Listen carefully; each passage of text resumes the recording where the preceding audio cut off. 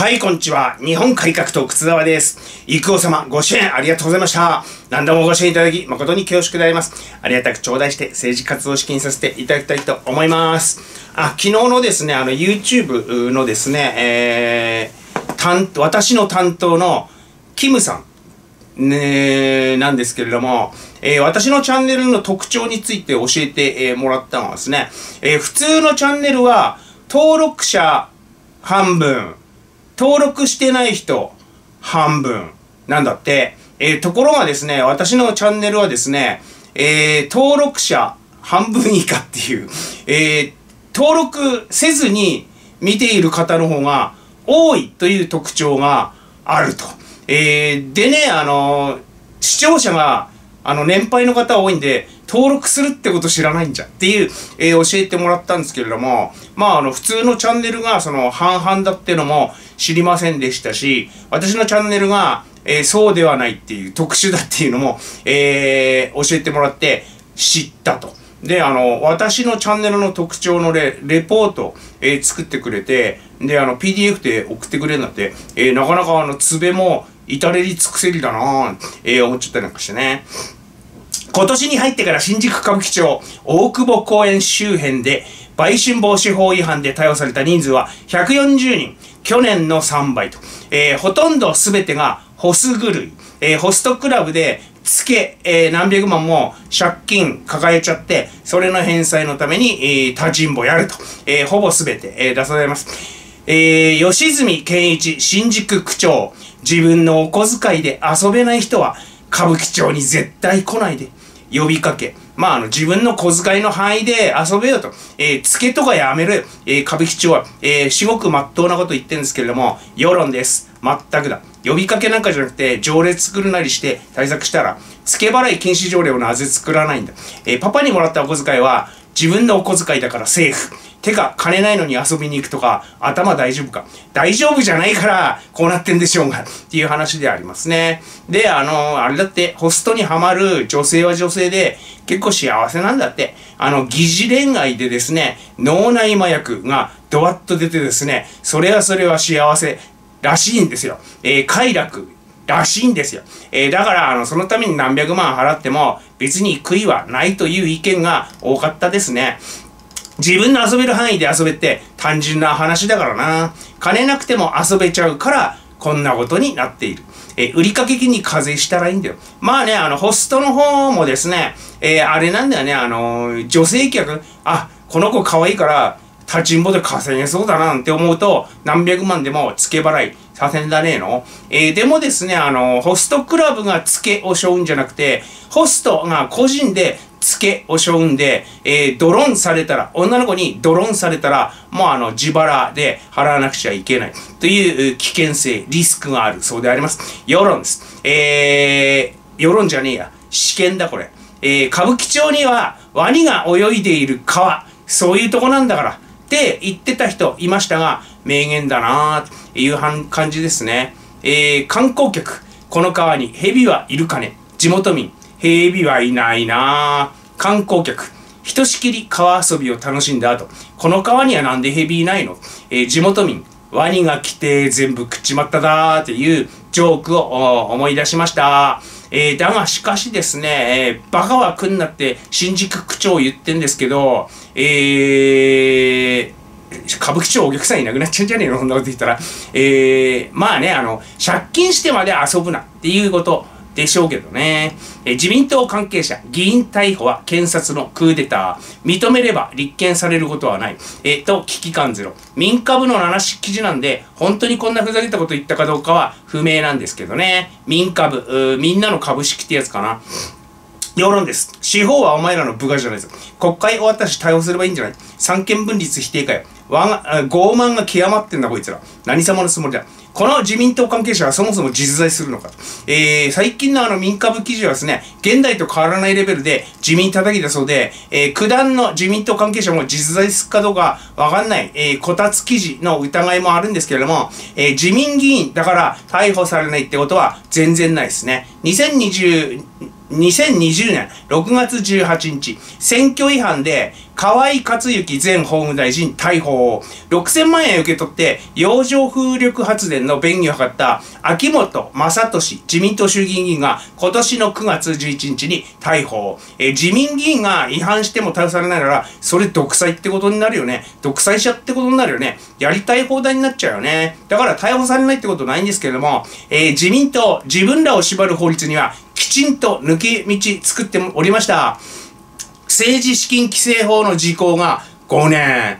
で、政治資金収支報告は5年前まで遡って修正できる。えー、これどういうことかって言いますと、この合わせ技でですね、えー、罪があったら修正できる。修正できない記載っていうのは罪に問えない。時効になってて。えー、というですね、素晴らしい合わせ技になってますね。えー、次に脱税の方なんですけど、1億円超えないと刑事事件にならない。えー、本来納めるべきだった税金、プラス追徴課税、プラス重加算税を払って終了と。で、大体これでそっくりなくなっちゃうんですけど、1億円売り上げごまかすとですね、この3連コンボのセットはですね、大体1億円になって、えー、そっくり取られてしまう。えー、1人1億円超えてたら、刑事で逮捕はあり得るんですけど、そういうあの、やつ、5年間で、1億円超えるやつ、いるんだろうか？いるんだろうか？えー、なので、清和会99人と二階派40人がですね、全員逮捕ってことはなさそうですね。えー、そんなことになったら、野党大喜びだし、えー、野党が喜ぶことは避けたいなえー、あとはあの政治が停滞する。えー、何にも決まらなくなっちゃって、停滞してしまうっていうのもありまして、えー、何もあの悪いことした自民議員を逮捕させんなって言ってるわけじゃないですよ。えー、こういうですね、あの法律の抜け道、えー、5年前まで修正できて、5年より前のは、あの、罪に問えないっていう抜け道。すごいよな、これ考えた人。えー、すごいな徹底的に罪に問えないようになってるってことなえー、あと、脱税、えー、1億円、えー、以下、ああ、だったらいいですね。えー、ちょっとは逮捕者出なさそうだなって、えー、思っておりますけども、私は。公明党山口夏夫、えー、米国では禁止されている TikTok で、えー、これ、公明党のあの、アカウントあるんだろうか ?TikTok。猛烈自民批判。同じ穴の無地なと見られたくない。とか言っちゃって、えー、世論です。よし、連立解消だ。同じカルトの無地なじゃないですか。そろそろ別れたらどうですか？違う穴の無地なじゃないか。違う穴の無地が。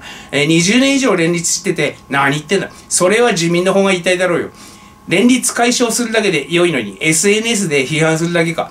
お前らは自民以下だけど、自民党と切っても切れないとか思い込んでるのは、学会本部だけ。日本の政治をおかしくしてるのは、他ならぬ公明党と。えー、公明党は税金免除のですね、創価学会がついてるから、必死こいて資金パーティーなんかしなくても、ええー、ですもんね。のんきでいいですね、気楽にね。えー、企業の期限取る必要もないし、代わりにあの信者が大搾取されて、えー、けどね、あの、お布施、お布施、お布施、お布施で。猛烈な金集め。えー、俺らはパーティーで金集めてないって言いたいんだろうけど、山口夏夫のいい人ぶりたい欲求炸裂といったとこですかね。同じ穴の無事な、出ないなら、ブツブツ文句言ってないですね。連勝解消すりゃいいのにね、与党じゃなくなると、公安監視対象になっちゃうから、それはそれで嫌なのかな、えー、思ったりして。不法滞在者支援団体、不法滞在者も公営住宅に入れるようにして、国と都に要望書提出。えー、仮釈放者の2割が路上生活を体験。えー、半数が家賃を滞納。もう限界。って知らねえよ、そんなんてね。勝手に来て勝手に苦しんで、家賃滞納して、大家さんに迷惑かけねえんじゃねえよ、この野郎。えー、いう話なんですけど、これ一番腹立つ記事かな、今日。今日の中で、世論です。えー、不法滞在で仮釈放の時点で、速やかな帰国支援を、日本人ですら保証人保険、保証会社問題で困ってんのに、他の国に行ってもらえ。不法滞在は犯罪であり、強制送還の対象。自国の大使館に助けを求めたら、支援なんかすっからつきやがる。不法滞在者の住宅支援して、日本人に何の得が。何の得もねえね。えー、支援団体はそれが飯の種なんで、路上で生活してる日本人に迷惑かける、家賃滞納してる大家さんに迷惑かける不法滞在者がいなくなると困るんでしょうね。えー、それにあの、公金で支援成功すれば、公金中中のまたとない機会だもんね。見逃さないよね。本当に支援したいんだったらですね、自国大使館に助けを求めるってアドバイスするよな。それが本当に助けることじゃないのかな。各国の大使館の最優先業務はですね、自国民の保護なんだから、紹介してやったら喜ぶんでねえのか、連れてってやったら喜ぶんでねえのか。それは自分らの名刺の種がなくなっから嫌なんでしょうね。えー、不法滞在者も不法滞在者だけど、こういうね、怪しい支援団体も支援団体ではね、弱者を作り出して、えー、それをで儲けるっていうですね。ウェブ女性自身調べ。絶対に見たくない年末特番。1位、紅白61票。2位、お台場リベンジャーズ44票。えー、3位、サスケ35票。4位、WBC 大晦日スペシャル33票。えー、5位、レコード大賞32票。6位、年忘れ日本の歌あ24票。えー、え、これ、好評だけだけどな、あの、演歌ばっかりで、あの、なんかあの高齢者喜ぶっつって好評だったんですけどね。7位、アメトーーク年末スペシャル16票、世論です。有名税みたいな結果だな。女性自身は何と戦ってるんだ？えー、番組知名度ランキングみたいになってる。絶対見ないって意気込むほどのことか？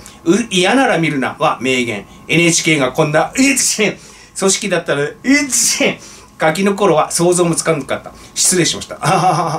テレビ内私には関係ないランキングですけど、確かに知名度ランキングみたいになってますね。えー、NHK 紅白知ってる人が多いから NHK は見ないぞ、えー、言ってんだろうな。でも結局はこの中だったら、あの NHK の紅白が一番視聴率稼ぐんだろうな、えー、思ったりしてね。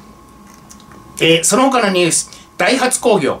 認可に必要な衝突実験結果を捏造していったことが発覚、えー、実験やってなかったって 国外、国内外出荷を自発的に停止。えー、これ国交省の処分待ってる間、首相の態度を見せるためですかね。えー、軽自動車ライバルのホンダとスズキが喜んじゃいますね。えー、マツダって今軽自動車作ってましたっけ？日産はなんかあの、マツダのあの、やつ借りて、エンブレム貼り替えて売ってたような気ですけど、えー、マツダって軽自動車今作ってましたっけ？コメントで教えてください。日銀発表家計資産総額2121兆円で過去最高。毎年毎年過去最高で減る気配全然ないですね。えー、国債発行総額は1065兆9000 454億円。えー、資産総額に比べると、まだまだ余裕で国債発行できんな、これな。2000兆円ぐらいまで国債発行できんもんね。えー、まあ、それだとですね、あの、減税されちゃうので、えー、財務省はですね、60年で国債は償還っていう、世界で日本しか採用してないルールで設けて、えー、妨害に成功してますけどね。シーカズオ共産党委員長、今日から東南アジアをえー、9日間外遊、ネットにはもう帰ってくんなの声多数、えー、公安もあの監視するため海外にもついてくんだろうか謎ですね。えー、今後聞いてみ、こあの、今度聞いてみますわ。外国行くとき、C 活を外国行くときくっついていくの 見張るためにって聞いてみます。えー、安保法は違憲と訴えていたパヨ団体、えー、高裁で敗訴を受け、上告しない方針。上告ってあの最高裁に訴えること。えー、最高裁で敗訴が確定してしまうと、今後の平和活動に支障、えー、なんともなんとも情けない情けない理由を述べてしまう。えー、お前らやってんの平和活動じゃなくて、防衛妨害活動だな。えー、米国からの要請で三菱がライセンス生産しているパトリオットミサイルを米国に輸出が決定。ライセンス生産費は輸出していいことにする。えー、法改正も行う予定、えー、だそうであります。えー、これ、あの、請負で作ってるやつだから、みたいな理屈で通すのかな。多分、本家ミサイルより出来いいな、これ。えー、三菱が作った方が。えー、米国急にミサイル不足してですか、何があったんですかね、一体ね。えー、台湾侵略に関する新情報でも入ったんでしょうか。えー、もしくは、あの、ウクライナとかに動きがあったんでしょうか。えー、3人組窃盗団逮捕。え6代目山口組組長宅にも侵入し、ロレックスを盗んでた。悪事で稼いだ金なら盗んでもいいと思った。えー、こういう連中は、あの、善人の家柄も盗んでから同情の余地なしっていう意見が優勢でした。えー、この人ら、あの、刑務所で大変じゃないの？大変、これがバレたら大変なことになるんじゃないのか？えー、ヤフオクに中国製のマキタ工具バッテリーが大量出品。もちろん純正品ではありません。爆発の危険性があり、注意呼びかけ、えー、人民はですね、あの、可能なインチキ見逃さずやるという文化があります。むしろですね、可能なインチキをしないのはバカぐらいに思ってます。えー、ニューヨーク、イスラエルのために路上募金活動、えー、してたのを妨害したですね、ハマス審判逮捕。逮捕された時、人種差別だとか言ってたんだって、え、営業妨害で捕まったんだから、差別関係ねえだろうって思うんですけど、バカなんすかね？それとも、都合悪くなったらこう言って、あの、教えられてんのかな？何でもかんでもあの、差別差別って吠えまくるですね、エリ・アルフィアみたいなことを言ってね、えー、営業妨害っていうのはあの、企業活動だけじゃないんですよ。経済活動、お金儲ける活動だけじゃないんですよ。政治活動や宗教活動、その他あらゆる他人の活動が含まれます。えー、だからあの政治活動を妨害しても営業妨害になります。えー、だからあの外線とかあんまし妨害しね捕まっちゃうからね、えー、いう話でね。えー、というわけで、えー、どういうわけで？うーん、チャンネル登録してください。登録しないで見てる人が多いって話ですんで、チャンネル登録、お願いします。えー、何卒何卒よろしくお願いします。デトックスジャパン。